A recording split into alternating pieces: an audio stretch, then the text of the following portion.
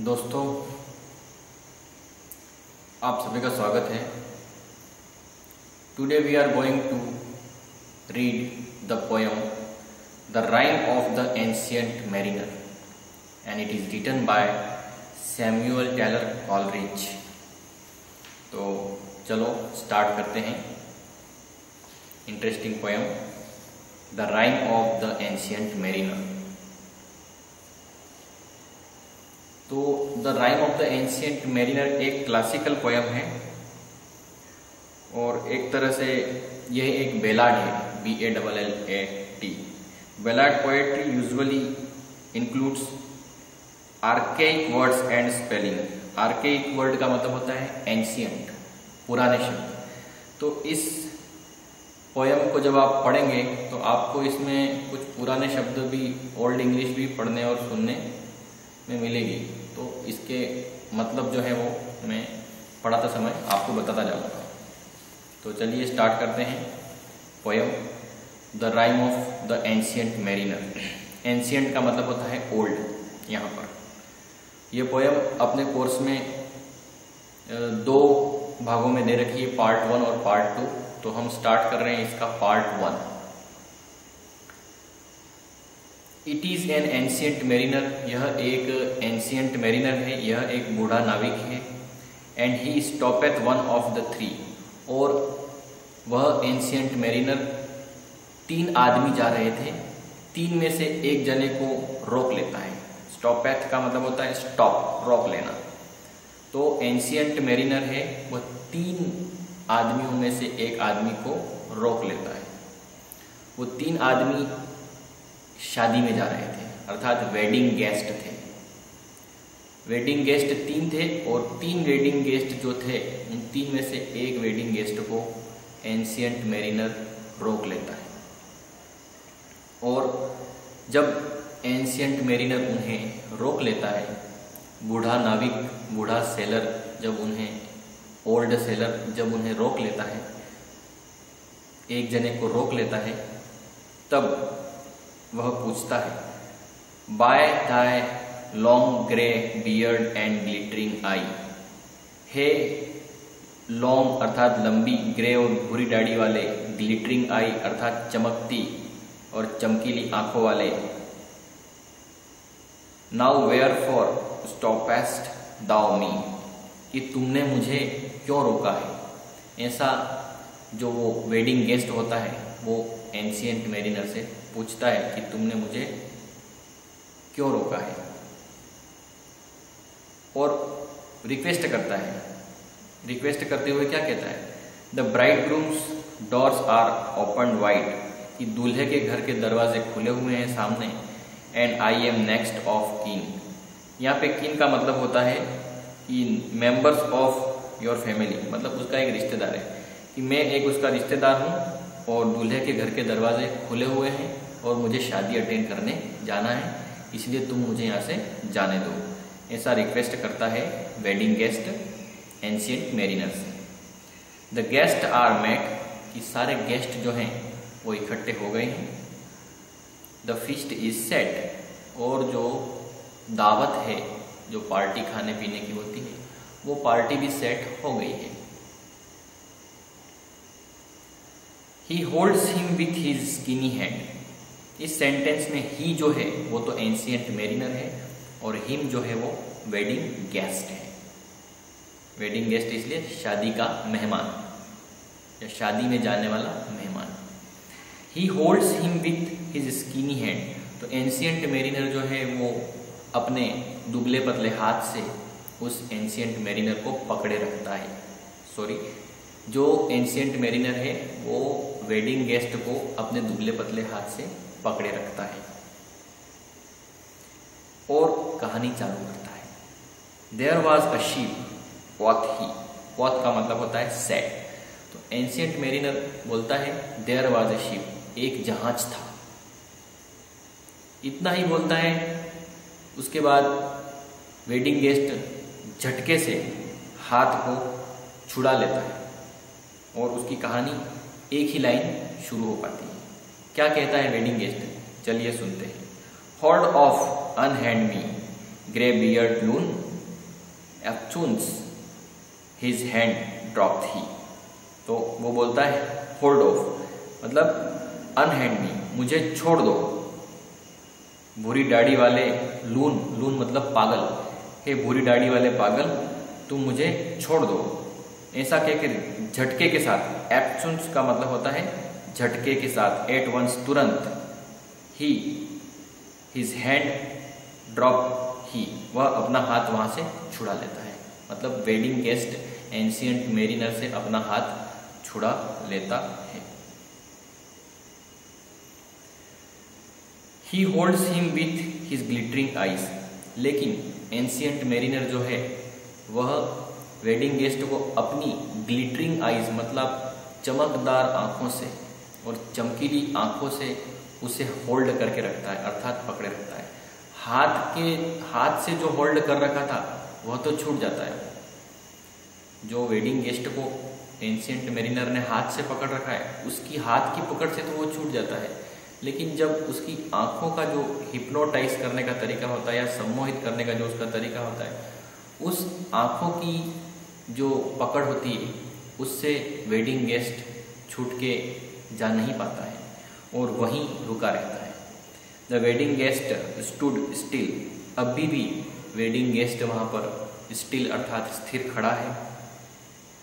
And listen like a three years old child और तीन साल के छोटे बच्चे की तरह उस एंशियंट मेरिनर की बात, कहानी सुन रहा है।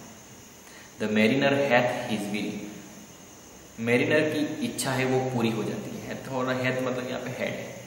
तो मेरिनर की इच्छा है, वो डिज़ायर है वो पूरी हो जाती है। अर्थात वेडिंग गेस्ट को वो रुकना चाहता था और वेडिंग गेस्ट वहाँ पे रुक गया है। The wedding guest sat on a stone और वेडिंग गेस्ट एक पत्थर पर बैठ जाता है। तो ये भी हमको याद रखना है कि वेडिंग गेस्ट कहाँ बैठ जाता है? एक स्टोन पे, एक पत्थर पर बैठ जाता है। He can not choose but hear अब वेडिंग गेस्ट के पास कोई चारा नहीं है, कोई दूसरा ऑप्शन नहीं है बट हियर उसको सुनना ही है। उसको वहाँ पे बैठ के आप सुनना है, क्योंकि वो उससे, उसकी जो ग्लिटरिंग आईज है, उसकी जो चमकती आँखें हैं, उससे उसने वेडिंग गेस्ट को रोक लिया है। तो ही यहाँ पर he can not choose but hear में जो ही है, वो वेडिंग गेस्ट है। तो एक्सट्रैक्ट होते हैं, उसमें अक्सर पूछा जाता है। And thus spake on the ancient man और वह एंशियंट मैन है, वह एंशियंट मेरिनर है, वह बोलता है।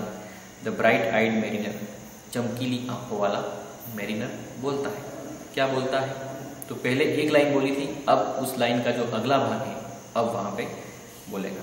इसी बीच सब दूसरी बातचीत हुई कि वो कैसे छुड़ाता है, कैसे रोक लेता है। तो कहानी वापस कंटिन्यू करता है एंशियंट मेरिनर और कहता है द शिप वाज चियर्ड जहाज़ में जो भी सब लोग थे जब हमारा जहाज़ जा रहा था तो जहाज़ बहुत ही खुश था। सब लोग बड़े प्रसन्न थे। द हार्बर क्लियर और समुद्र का जो किनारा था, वह किनारा भी बड़ा क्लियर था, साफ़ था। कोई धुंध वगैरह नहीं छाई हुई थी। मैरीली डिड वी ड्रॉप और हम खुशी से जो सागर था या जो सी था, उसमें खुशी खुशी ड्रॉप हुए थे मतलब उतरे थे जहाज़ लेकर के। बिलो द किर्क किर्क का मतलब यहाँ पे चर्च है।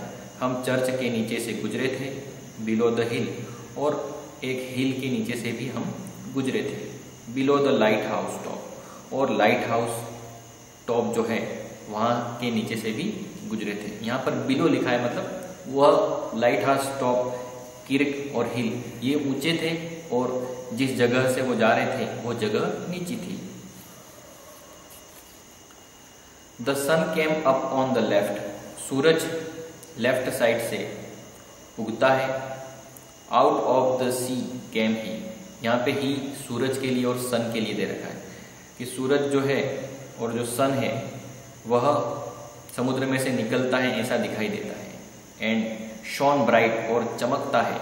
एंड ऑन द राइट और राइट साइड में वेंट डाउन वापिस सेट हो जाता है। वेंट डाउन का मतलब यहाँ पे सेट है, अस्त हो जाना है। सेट इनटू द सी और ऐसा लगता है कि सूरज है वो समुद्र के अंदर चला गया है, अर्थात सेट हो गया है, अस्त हो गया है। Higher and higher every day till over the mast at noon और सूरज रोज बहुत ऊँचा जाता है, और जब नून का टाइम अर्थात दोपहर का समय होता है तो जहाज़ का जो मेस्ट होता है मतलब जहाज़ की जो कपड़े वाला जहाज़ होता है, जिसमें बहुत बड़े बड़े पाल लगे होते हैं उस जहाज़ के अंदर बीच में एक बहुत बड़ा खंबा होता है।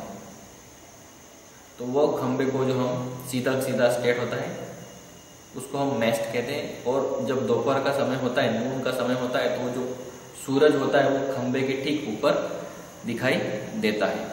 The wedding guest here beat his breast wedding guest अपनी छाती पीट लेता है for he heard the loud bassoon क्योंकि उसो बेसोन का यहाँ पे मतलब है अ म्यूजिकल इंस्ट्रूमेंट जब वेडिंग गेस्ट को एक म्यूजिकल इंस्ट्रूमेंट की आवाज़ सुनाई देती है, जो कि शादी में बज रहा है तो वेडिंग गेस्ट को वापस से वह याद आ जाता है और वह अपनी छाती पीट लेता है। मतलब दुखी हो जाता है। बीट हिज ब्रेस्ट मतलब छाती पीट लेना। The bride had paced into the hall दुल्हन जो है, उसकी हॉल में एंट्री हो चुकी थी, अर्थात शादी का सीन हमको बताया जा रहा है कि दुल्हन की जो है वो शादी के हॉल में एंट्री हो चुकी थी। हैथ मतलब यहाँ पे हेड है।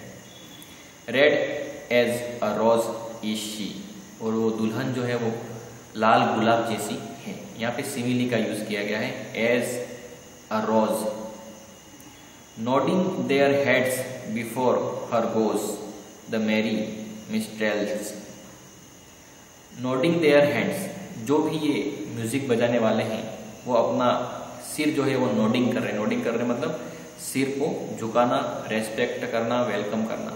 तो दुल्हन की जो शादी है, उसके अंदर जो भी ये मिस्ट्रेलसी है मिस्ट्रेलसी का मतलब होता है सिंगर एंड म्यूजिशियन तो सिंगर और म्यूजिशियन जो है, वो शादी में आए हैं, उनको खुश करने। तो वो जो हर, अर्थात यहाँ पर ब्राइड है, दुल्हन है तो उसके सामने सिर झुकाकर उसको रेस्पेक्ट देते हैं, उसको ग्रीट करते हैं, उसको सम्मान देते हैं। The wedding guest he beat his breast wedding guest ने अपनी छाती पीट डाली। Yet he can not choose but hear लेकिन फिर भी वो वहाँ से जा नहीं सकता था। उसे वो सुनना ही था। मतलब एंशियंट मेरिनर जो भी जहाज़ के बारे में कहानी सुना रहा है, शिप के बारे में जो कहानी सुना रहा है, उस कहानी को पूरा उसे सुनना ही था और हमको भी सुनना है, क्योंकि इसमें आगे क्या है वो हम जैसे पढ़ेंगे तो ही पता चलेगा। And thus spake on the on that ancient man the bright eyed mariner. तो इस प्रकार से जो एंशियंट मेरिनर है, वह बोलता है और वह चमकीली आँखों वाला जो मेरिनर है, अर्थात जो सेलर है जो नाविक है, वह बोलता है। क्या बोलता है? वो आगे इन्वर्टेड में दे रखा है। And now the storm blast came and he was tyrannous and strong अब स्टॉर्म ब्लास्ट मतलब जो तूफ़ान होता है, वह धमाका करता हुआ आता है। कैम ही ही यहाँ पर स्टॉर्म के लिए दे रखा है। वास टाइरेनियस टाइरेनस का मतलब होता है क्रूअल तो तूफ़ान जो है वो बहुत ज़ोर से आता है ब्लास्ट करता हुआ आता है, धमाका करता हुआ आता है और वो बहुत स्ट्रांग है और बहुत टाइरेनस है मतलब क्रूअल है, बहुत बुरी तरीके से जहाज़ को टक्कर मार रहा है storm he struck with his overtaking wings and chased us south along. He struck का मतलब टकराना होता है ओवरटेकिंग wings विंग्स का मतलब तो पंख होते हैं एंड चेस्ट मतलब पीछा करना होता है। तो अब पूरी दो लाइन का मतलब समझते हैं। He struck with his overtaking wings वह अपने पंखों से मतलब जो ये तूफ़ान है, वो ऐसा लग रहा है जैसे कि बहुत बड़े उसके विंग हैं, पंख हैं, और पंखों से हमें टक्कर मार रहा है। टक्कर मार के हमारा पीछा कर रहा है चेस कर रहा है हमको, और हमको साउथ में ले जा रहा है। मतलब साउथ डायरेक्शन में धक्का लगा करके जो है वो तूफ़ान जो है वो इस जहाज़ को ले जा रहा है शिप को ले जा रहा है। With sloping mast and dipping prow prow का मतलब होता है front part of the ship जहाज़ का आगे वाला हिस्सा। तो जब पीछे से तूफ़ान धक्का दे रहा है तो जहाज़ का आगे का हिस्सा बार बार ज़मीन में क्या हो रहा है? डीप हो रहा है मतलब डुबकिया लगा रहा है। ऐसे ऐसे जहाज़ हिल डुल रहा है। तो उसका मेस्ट है, वो भी थोड़ा हिल डुल रहा है मतलब स्लोप में जा रहा है। इसलिए यहाँ पे स्लोपिंग वर्ड लिखा हुआ है। With sloping mast and dipping prow as who pursued with yell and blow यहाँ पे परस्यूड लिखा है। परस्यूड का मतलब होता है चेस करना मतलब पीछा करना।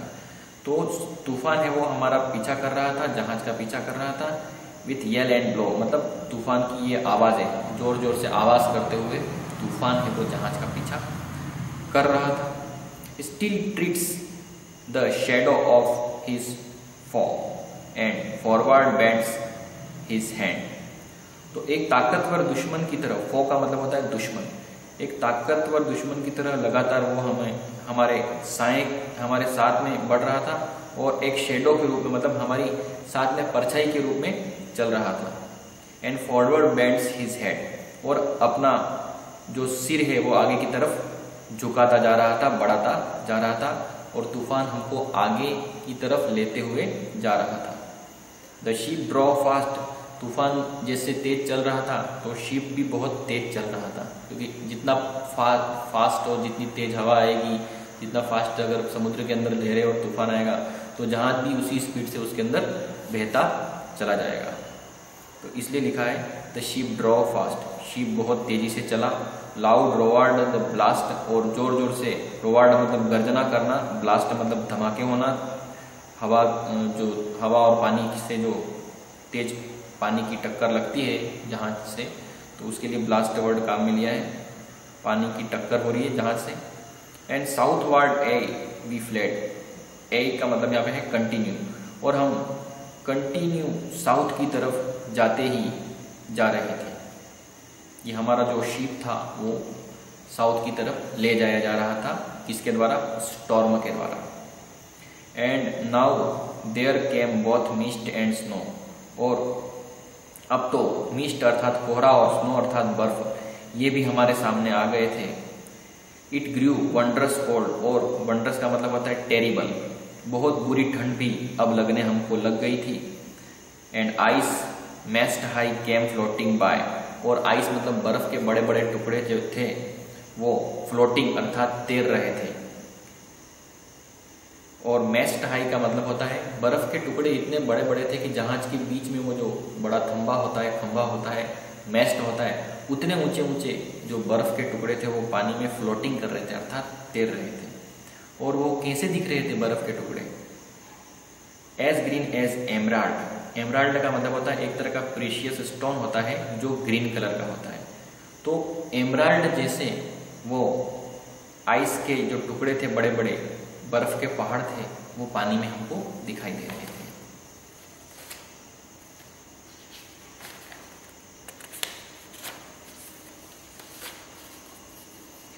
And through the drifts the snowy clifts did send a dismal sheen drift का मतलब यहाँ पे है फ्लोटिंग आइस तैरता हुआ बर्फ़, और स्नोई क्लिफ्ट का मतलब होता है बर्फ़ की चोटी। डिस्मल का मतलब होता है मनहूस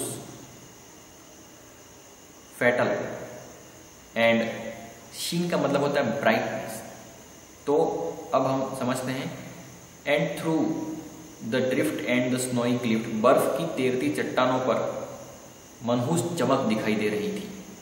नॉर शेप ऑफ़ मैन और beast we ken K E N can का मतलब सी है, यहाँ पे देख पाना।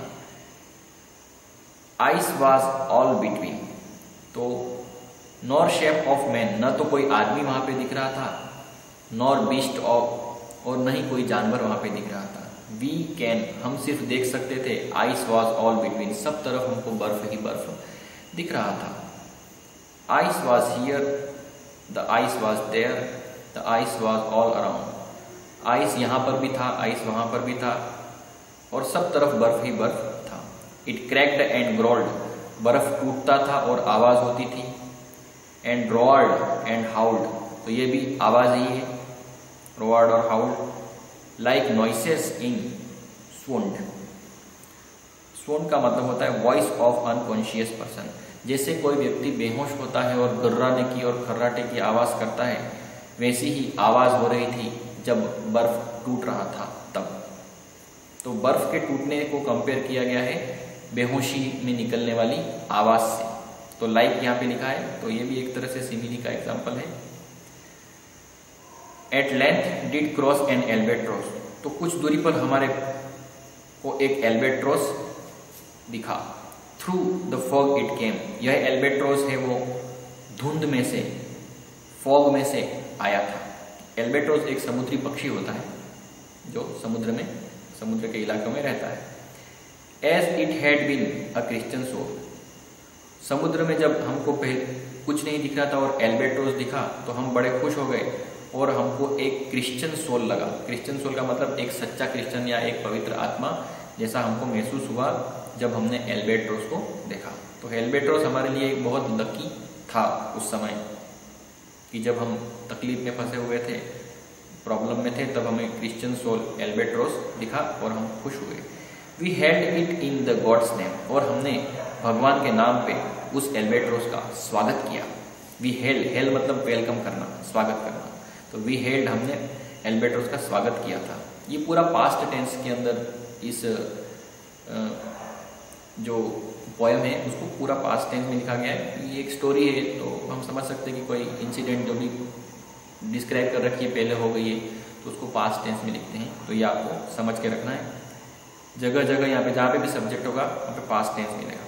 तो हमने एल्बेट्रोस का क्या किया? स्वागत किया। क्योंकि हम तकलीफ़ में थे, उस समय हमको वो दिखा था। It ate the food never had eat इसने वह फ़ूड खाया जो इसने ज़िंदगी में कभी भी नहीं खाया था। And round and round it flew और वह हमारे चारों तरफ़ उड़ा। फ्लू मतलब उड़ा। The ice did split with a thunder fit और बर्फ़ के जो भी हमारे सामने बर्फ़ रुका हुआ था, वह बिजली की चमक से टूट गया। बर्फ़ की पहाड़ी जो थी वो टूट गई। The helmsman steered us through और हेल्समैन अर्थात जो जहाज़ चलाने वाला होता है वो जो है, वो हमको स्टीयर करके, अर्थात हमको उस जगह से निकाल करके ले गया। अर्थात एल्बेट्रोस के आने से हमारी समस्या थोड़ी कम हो गई। आगे जो पहाड़, बर्फ़ का पहाड़ था, वो टूट गया और टूट जाने के बाद में हम आगे की तरफ़ निकल पड़े। And good south wind sprung up behind sprung का मतलब होता है अचानक से चलने लग जाना। तो अच्छी साउथ विंड जो थी वह पीछे चलने लग गई। तो गुड साउथ विंड का मतलब होता है ऐसी हवा जिससे कि जहाज़ आसानी से चल सकता है कंफर्टेबली चल सकता है, और जो स्टॉर्म था, वो गुड साउथ विंड नहीं था। उसके कारण से जहाज़ को तकलीफ़ हो रही थी, जहाज़ का मूवमेंट डिस्टर्ब हो रहा था। द एल्बेट्रोस डिड फॉलो और एल्बेट्रोस हमारे पीछे पीछे चल रहा था। एवरी डे फॉर फ़ूड और play came to the mariner's hollo hollo H O double L O hollo का मतलब यहाँ पे किसी को शाउट करके बुलाना मतलब किसी को बुलावा देना। तो एवरी डे फॉर फ़ूड और प्ले रोज खाने के लिए और खेलने के लिए मैरिनर जो थे, वो एल्बेट्रस को वहाँ पे बुलाते थे। तो जो भी हमारे लिए बहुत लकी होता है, हम उसको बार बार अपने साथ में बुलाते हैं और पास में बिठाते हैं। तो एल्बेट्रोस उनके लिए लकी था उस समय अच्छा था। इसलिए वो एल्बेट्रेस को बार बार बुलाते थे और उसको खाना देते थे और वो एल्बेट्रस वहाँ पे खेलता था। अब एल्बेट्रस कब कब वहाँ पर आता रहता था, कौन से कौन से समय आता रहता था, इसकी भी जानकारी इसमें दे रखी है। इन मिस्ट और क्लाउड ऑन मेस्ट श्राउड तो श्राउड का मतलब होता है सेल, रस्सियाँ जो होती हैं मेस्ट से बंधी हुई वो। तो कोहरे में, बादल में, सब समय में वो आता था वहाँ पे। एल्बेट्रोस और मेस्ट पर और उसकी रस्सियों पर बैठ जाया करता था। इट पर्चड तो पर्चड का यहाँ पे मतलब है set on the edge of something कहीं पे किसी चीज़ के किनारे पे बैठ जाना। It perched for vespers nine vespers nine का यहाँ पे मतलब है a fixed time every day रोज एक फिक्स समय पर आता था और वहाँ पर क्या करता था वो? आकर के बैठा करता था। कहाँ पर? जो मेस्ट होता है, उसकी रस्सियाँ होती हैं, वहाँ पर ये बैठ जाया करता था। उसका आने जाने का भी फिक्स समय हुआ करता था।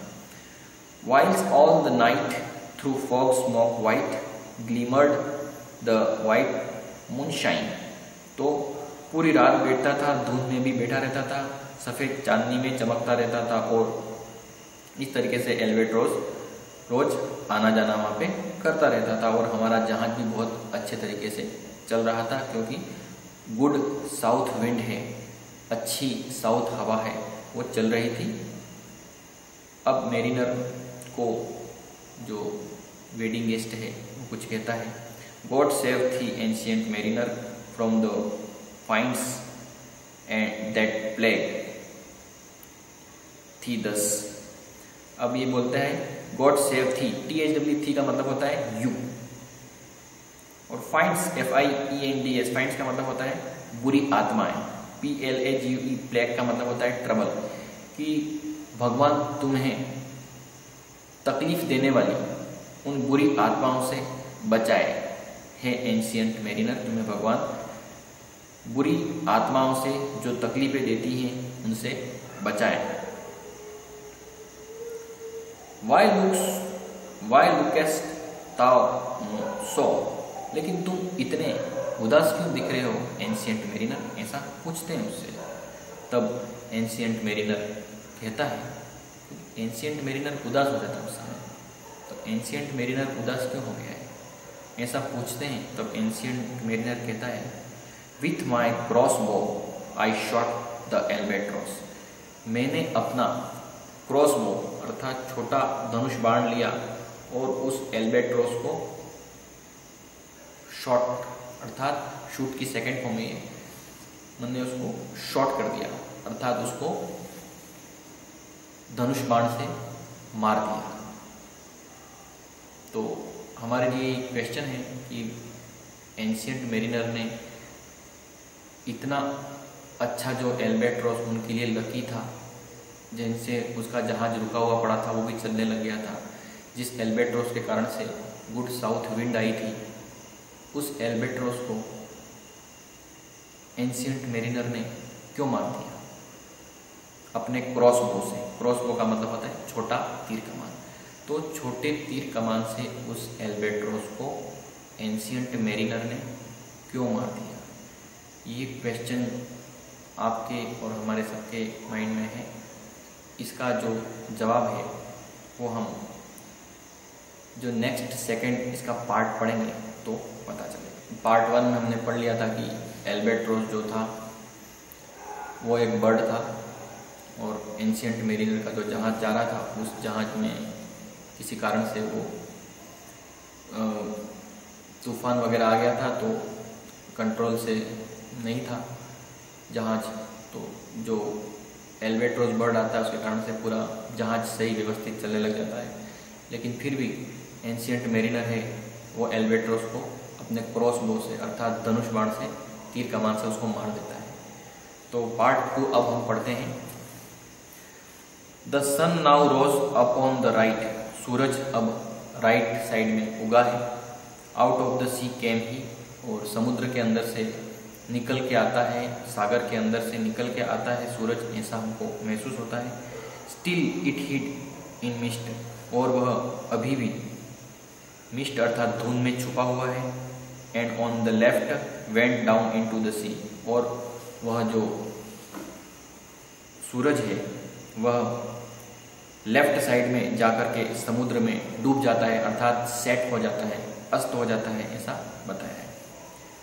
And the good south wind still blew behind और अच्छी साउथ विंड जो है, वो अभी भी हमारे पीछे चल रही है। मतलब एल्बेट्रोस मर गया है एल्बेट्रोस को मार दिया गया है, फिर भी जहाज़ अच्छी तरीके से चल रहा है। But no sweet bird did follow लेकिन अब वह स्वीट अर्थात प्यारा मीठा पक्षी जो है, वो हमारे पीछे पीछे नहीं आ रहा है, क्योंकि उसको एंशियंट मेरिनर ने मार दिया है। Nor any day for food और प्ले न तो वह खाने आता है, न ही खेलने आता है। Came in to the mariner's follow तो मेरिनर के बुलावे पर अब वह बर्ड कभी भी नहीं आता है। अर्थात नहीं आता था। पास्ट टेंस है। And I had done hellish thing मैंने बहुत बुरा काम किया है। आई यहाँ पर एंशियंट मेरिनर के लिए है। तो एंशियंट मेरिनर बोलता है I had done hellish thing मैंने बहुत बुरा काम किया था। And it would work em walk em का मतलब होता है देम वो मतलब सोरो तो एंशियंट मेरिनर कहता है कि मैंने बहुत बुरा काम किया था और इससे उनको बहुत दुख होगा। मेरे दूसरे जो साथी वगैरह हैं उनको बहुत दुख होगा। तो उसके माइंड में ये है कि एक इसको मार दिया है, वो मैंने एक सीन कर दिया, एक पाप कर दिया है, ऐसा वो महसूस कर रहा है। It would become the reason of their sorrow call those whoever in the ship तो जो भी शिप में थे, वो उनको तकलीफ़ भी हो सकती है, ऐसा एंशियंट मेरिनर कह रहा है कि मैंने उस बर्ड को मार दिया है। फॉर ऑल एवेड एवेर्ड का मतलब होता है सेट फर्मली मतलब बहुत ही फर्म होकर मजबूती के साथ में कोई चीज़ कहना कि मैंने ये करा है, मैंने ये कर दिया है, ऐसा बोलना। For for all averred I had killed the bird मैंने उस पक्षी को मारा है। एंशियंट मेरिनर कहता है कि मैंने उस पक्षी को मारा है, मैंने उस पक्षी को मारा है, ऐसा कहता है। That made the breeze blue blow जिसके कारण से ये अच्छी हवा ब्रिज मतलब बढ़िया हवा चल रही थी उसी बर्ड को मैंने मार दिया है, ऐसा बोलता है। ए wretch said they the bird slay that made the breeze blow तो बूढ़े नाविक को वो कोसने लगते हैं, भला बुरा कहने लगते हैं। ए रिच, इस तरह से उसका मतलब है कि भला बुरा कहना। और कहते हैं कि जिस बर्ड के कारण से अच्छी हवा चली थी, उस बर्ड को इसने मार दिया है, ऐसा उसको कहते हैं। नॉर डिम नॉर रेड न तो डिम है और न ही रेड है। लाइक गॉड्स सन हेड और भगवान like God's sun head the glorious sun uprist तो चमकदार जो सूरज है, वो अपृष्ठ मतलब उगता है। रोज की रोज की ही उगता है और चमकता हुआ दिखाई देता है। न तो ज़्यादा लाल है, न ही डिम है। अर्थात मीडियम है अच्छा है। Then all averred I had killed the bird that brought the fog and mist तो जब बर्ड को मार दिया, उसके बाद भी जहाज़ पे कोई फ़र्क नहीं पड़ रहा है तो दूसरे जो मेरिनर हैं, वो सब कहते हैं कि देन ऑल एवेड सभी ने फर्मली कहा, अच्छे तरीके से कहा, ज़ोर देके कहा I had killed the bird that brought the fog and mist कि मैंने उस बर्ड को मार दिया है जो फॉग और मिस्ट लाया था। अर्थात धुंध और कोहरा जो बर्ड लाया था, उस बर्ड को मैंने मार दिया है। ऐसा सभी दूसरे जो मेरिनर है वो भी कहते हैं। इट वॉज़ राइट हाँ ये अच्छा काम किया। इस बर्ड को मार दिया ना, ये बढ़िया काम किया। ऐसा सब लोगों ने कहा। सेट दे मतलब उन्होंने कहा। सच बर्ड्स टू स्ले अरे, ऐसे बर्ड को तो मार ही देना चाहिए। That bring the fog and the mist तो जो बर्ड है वो फॉग और मिस्ट लाता है, ऐसे बर्ड को तो मार ही देना चाहिए। तो एंशियंट मैरिनर तूने अच्छा काम किया। उस बर्ड को मार दिया, बहुत बढ़िया काम किया। तो दोस्तों, इस दुनिया के अंदर हमेशा ये चीज़ याद रखने की है कि संसार में लोग कभी भी एक ही तरह की बात नहीं कहते हैं। जब उनको कोई चीज़ अच्छी लगती है तो उसके बारे में अच्छा बोलने लग जाते हैं। और अगले ही क्षण वो चीज़ अगर उनके लिए तकलीफ़ देने लग जाती है तो उसी चीज़ को वो खराब कहना भी चालू कर देते हैं। तो यहाँ पर एंशियंट मेरिनर के साथ भी ऐसा ही हुआ है। एंशियंट मेरिनर को पहले तो वो पोस रहे थे, बाद में जब बर्ड को मारने के बावजूद भी मौसम में किसी तरह का कोई चेंज नहीं आया तो वो कह रहे हैं कि चलो अच्छा किया तुमने इस बर्ड को मार दिया।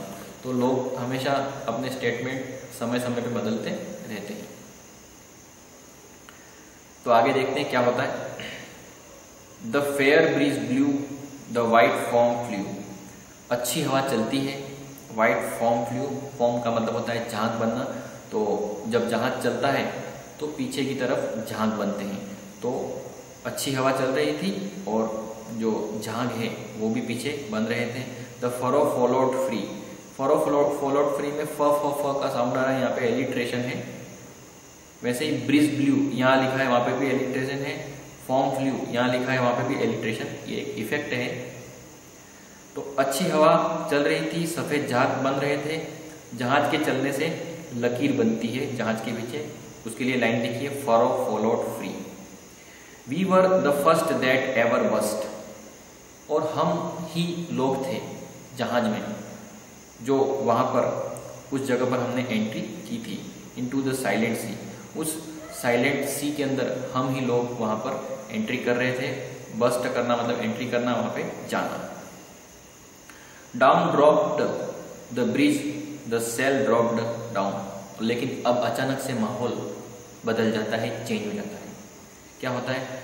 डाउन ड्रॉप द ब्रिज अब हवा चलनी बंद हो जाती है। द सेल्स ड्रॉप डाउन और सेल्स का अर्थात वो जो कपड़े होते हैं, जिसके कारण से जो मेस्ट पे कपड़े लगे हुए थे और हवा चलती है और जहाज़ चलता है तो वो अब ड्रॉप डाउन हो गए। अर्थात नीचे हो गए हैं, हिलने डुलने बंद हो गए बिल्कुल एक तरह से स्थिर हो गए हैं। हिल नहीं रहे। तो बंद हो गई है। द सेल्स ड्रॉप्ड डाउन और जहाज़ के जो कपड़े होते हैं मेस्ट के आसपास लगे हुए, जिसके अंदर हवा आती है और जहाज़ आगे बढ़ता है तो उसको सेल्स कहते हैं। तो द सेल्स ड्रॉप्ड डाउन और हवा चलनी बंद हो गई है तो वो कपड़े भी लटक गए हैं, अर्थात डाउन हो गए हैं। ट्वास said S said could be ट्वास लिखा है मतलब इट वाज है ये शॉर्ट फॉर्म में लिखा हुआ है। ट्वास said S said could be और अत्यधिक उदासी छाई हुई है यहाँ पे। And we did speak only to break the silence of सी और हम बोल रहे हैं, वही आवाज़ जो सी है, वहाँ पे सुनाई दे रही है। इसके अलावा कहीं पे किसी तरह की कोई आवाज़ वहाँ पे नहीं है। अर्थात हम ही वहाँ पर हैं, बाकी कोई नहीं है, और जो सी है, वो भी बिल्कुल साइलेंट हो गया है। अर्थात मूवमेंट बंद हो गया है, हवा चलनी बंद हो गई है। गुड साउथ विंड थी या जो गुड विंड थी उनकी, जो गुड ब्रिज थी, वो चलनी बंद हो गई है। All in a hot and copper sky the bloody sun at noon सारा आसमान तांबे के रंग जैसा हो गया है, अर्थात लाल हो गया है। कॉपर स्काई अर्थात लाल रंग का हो गया है और हॉट अर्थात गर्म हो गया है। The bloody sun at noon और दोपहर में सूरज जो है वो ब्लडी अर्थात लाल दिखाई दे रहा है मतलब गर्मी लग रही है। Right above right above the mast did stand और जो सूरज है वो मेस्ट के ठीक ऊपर की तरफ़ दिखाई दे रहा है नून के टाइम में अर्थात दोपहर में। No bigger than the moon और सूरज मून के साइज़ का हमको दिखाई दे रहा है और मून से बड़ा नहीं है। Day after day day after day दिन ब दिन दिन ब दिन, अर्थात दिन गुजरते गए, दिन गुजरते गए। वी स्टक हम अटके अटके हुए थे। Nor breath, nor motion. और किसी तरह से कोई हवा नहीं चल रही थी, न ही कोई गति वहाँ पर थी। As idle as painted ship upon the painted ocean और समुद्र में ऐसा लग रहा था जैसे कि वो शिप है। वो कोई पेंटिंग हो, कोई पिक्चर हो जैसे कोई पिक्चर में कोई भी चीज़ स्थिर रहती है, वैसे ही वो जहाज़ था, वो भी समुद्र के अंदर स्थिर था और ओशन था, वो भी पूरा स्थिर था। तो ओशन स्थिर है ओशन भी स्टिल है ओशन में भी कोई मूवमेंट नहीं है और अगर ओशन में कोई मूवमेंट नहीं है तो जो शिप है, उसमें भी कोई मूवमेंट नहीं है। इस बात को समझाने के लिए जो पॉइंट है, उसने बहुत ही अच्छी लाइन लिखी है सैम्यूअल टेलर कॉलरिज ने। जो कि उसका पोइट है। सिमिली है यहाँ पर as idle as a painted ship कि शिप ऐसा लग रहा है जैसे कि कोई पेंटिंग हो। और समुद्र भी ऐसा ही लग रहा है कि कोई पेंटिंग की हो। तो दोनों बहुत ही ज़्यादा स्टिल हैं, बहुत ही ज़्यादा स्थिर हैं। ये बताने के लिए उन्होंने ये लाइन लिखी है। कि जहाज़ भी समुद्र में पेंटिंग की तरह स्थिर था और समुद्र भी पेंटिंग जैसा लग रहा था।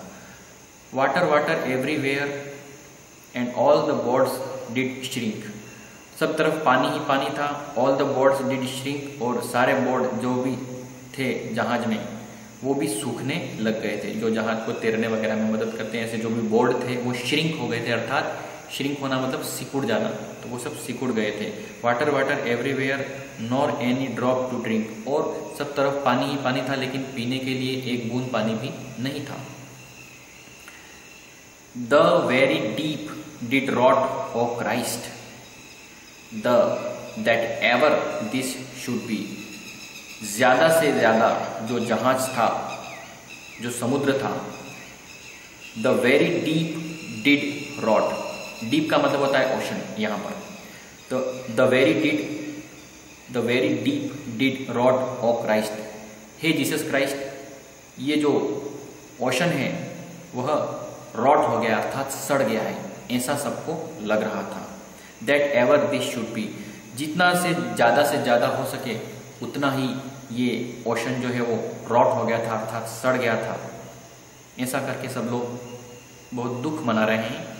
ये स्लीमी थिंग्स डिड क्रॉल और स्लीमी थिंग्स अर्थात जो कीड़े होते हैं, जो कि कीचड़ में क्रॉल करते हैं, अर्थात रेंगते हैं विथ लेग्स अपने पैरों से। Upon the slimy sea slimy अर्थात कीचड़ वाला जो समुद्र है उस कीचड़ वाले समुद्र में, जो कीचड़ वाले कीड़े हैं, वो वहाँ पर अपने लेग्स अर्थात पैरों से रेंग रहे हैं। ऐसा सबको महसूस हो रहा था। ये स्लीमी थिंग्स स्लीमी थिंग्स मतलब कीचड़ वाले कीड़े। Slimy things did crawl with legs upon the slimy स्ली semi sea तो कीचड़ वाले कीड़े वहाँ पर रेंग रहे थे, कीचड़ वाले समुद्र पर। About about in reel and rout reel and rout का मतलब यहाँ पर है अ टाइप ऑफ़ डांस यह एक तरह का डांस है। The death fire danced at night about about in reel and rout the death fires danced at night मौत की जो आग है, वो सब तरफ़ डांस कर रही थी। ऐसा हमको लग रहा था। अर्थात हमको ऐसा लग रहा था कि चारों तरफ़ हमारे मौत ही मौत है, ऐसा महसूस हो रहा था। The water like a witch oils burn green blue and white और समुद्र का पानी जो था, वो हमको विच विच अर्थात जादूगरनी, भूतनी। तो जादूगरनी के तेल जैसा समुद्र का पानी हमको लग रहा था। यहाँ पर भी लाइक का यूज़ किया है तो सिमिली है कि समुद्र का पानी कैसा लग रहा था? ऑयल के जैसा। किसके जैसा ऑयल विच का ऑयल तो और जल रहा था। कैसा जल रहा था? ग्रीन रंग का, कभी ब्लू रंग का, कभी व्हाइट कलर का ऐसा हमको महसूस हो रहा था। And some in dreams assured were of the spirit that plagued us so और सम अर्थात कुछ नाविक, कुछ जो सेलर्स थे, उनको ऐसा लग रहा था, उनको ऐसा सपना आ रहा था कि of the spirit that plagued us so कि कोई स्पिरिट कोई आत्मा जो है, वो हमको यहाँ पर तंग कर रही है। अलग अलग तरह के लोग हैं तो सब तरह के लोगों को अलग अलग महसूस हो रहा है। किसी को बीच का ऑयल जैसा लग रहा है सी और किसी को लग रहा है कि जो कोई स्पिरिट है, कोई आत्मा है, वो हमको प्लैक कर रही है। P L A G plague करना मतलब परेशान करना। तो प्लैक कर रही है, ऐसा लग रहा है। नाइन फैंथम फैंथम का मतलब होता है समुद्र की गहराई मापने का एक तरीका है। तो nine fathom deep he had followed us ही यहाँ पे स्पिरिट के लिए दे रखा है कि नौ फैंथम नीचे समुद्र के गहराई में से वो आत्मा जो है वो हमारा पीछा कर रही है और आत्मा पीछा किस जगह से कर रही है? From the land of mist and snow जो मिस्ट और स्नो जब हमको पहले पहले दिखा था, उस समय से वो जो आत्मा है, वो समुद्र की गहराई से हमारा लगातार पीछा कर रही है और हमको प्लेग अर्थात परेशान कर रही है। तो कुछ को लग रहा है कि विच के ऑयल जैसा लग रहा है समुद्र, और कुछ लोगों को ऐसा लग रहा है कि कोई स्पिरिट है, कोई आत्मा है वो हमको तंग कर रही है समुद्र की गहराई से। And every tongue through utter drought was withered at root और हर टंग अर्थात हर ज़ुबान जो है, जबान जो है वो सूखे के कारण ड्रॉट का मतलब होता है सूखा। Was withered at the root हर जबान, हर आदमी बिल्कुल चुप था। हर आदमी की जबान थी, हर सेलर की जबान थी, वो बिल्कुल चुप थी, क्योंकि सब उनको सूखा सूखा लग रहा था, उनका गला सूख गया था। We would not speak no more than if we had been choked with soot और हम कुछ भी नहीं बोल सक रहे थे। हमको ऐसा लग रहा था कि हमारी जो आवाज़ है, वो यहाँ पर गला में, गले में जो है वो चौक हो गई है। बिल्कुल ही अटक गई है। ऐसा उनको लग रहा था क्योंकि उनका गला सूख गया था। ए well a day what evils look had I from old and young अब ओल्ड और यंग जो भी सेलर्स थे जहाज़ में, उन सभी लोगों ने एंशियंट मेरिनर को एक अजीब सा लुक दे दिया। इंस्टीड ऑफ़ द क्रॉस ऐसे जो भी क्रिश्चियन होते हैं, वो गले में क्रॉस क्रॉस लटकाते हैं तो उस क्रॉस की जगह पर इंस्टीड ऑफ़ क्रॉस का मतलब होता है कि क्रॉस की जगह पर the albatross about my neck was hung मेरे गले में सभी लोगों ने मिल करके एल्बेट्रोस को टांग दिया। कौन सा एल्बेट्रोस जो एल्बेट्रोस मैंने मार दिया था, उस एल्बेट्रोस को सभी, जो भी यंग और ओल्ड जो भी लोग उस शिप में थे उन सभी ने मिल करके मुझ पे गुस्सा होकर के उस मरे हुए एल्बेट्रोस को मेरे जो नेक अर्थात गला है उसमें हंग कर दिया, अर्थात टांग दिया था। इंस्टीट ऑफ़ क्रॉस अर्थात गले में क्रॉस की जगह पर एल्बेट्रोस मुझे टांग दिया गया था। तो दोस्तों, इस तरीके से ये हमारी पोयम थी the rime of the ancient mariner ये ख़त्म हो जाती है और इसकी एंडिंग कहाँ पर होती है? कि एंशियंट मेरिनर के गले में वह मरा हुआ एल्बेट्रोस होता है। तो सभी जो दूसरे ओल्ड और यंग मेरिनर होते हैं, वो सब मिल करके वो मरा हुआ एल्बेट्रोस एंशियंट मेरिनर के गले में टांग देते हैं और इस तरीके का उसको एक इविल लुक एक बुरा लुक दे देते हैं।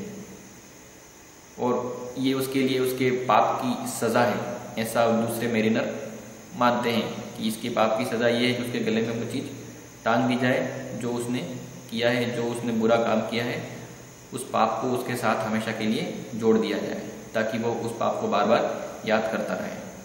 तो दोस्तों, ये थी हमारी poem the rime of the ancient mariner आपको अगर ये पोयम पसंद आई होती, पसंद आई है तो आप लोग इसे लाइक करें और अपने फ्रेंड्स को शेयर करें, ताकि ज़्यादा से ज़्यादा बच्चे इसका बेनिफिट ले पाएँ। और चैनल को भी सब्सक्राइब करें और साइड में बेल का आइकन आता है, उसको भी प्रेस करें ताकि इस, जो वशिष्ठ एकेडमी चैनल है, इस चैनल से आपको जो भी और भी नए अपडेट्स हैं, कोई भी नया इन्फॉर्मेशन जैसे इंग्लिश से रिलेटेड कुछ भी नया बनता है तो वो आपको इससे मिलेगा और नोटिफिकेशन आपको मिलेगा तो आप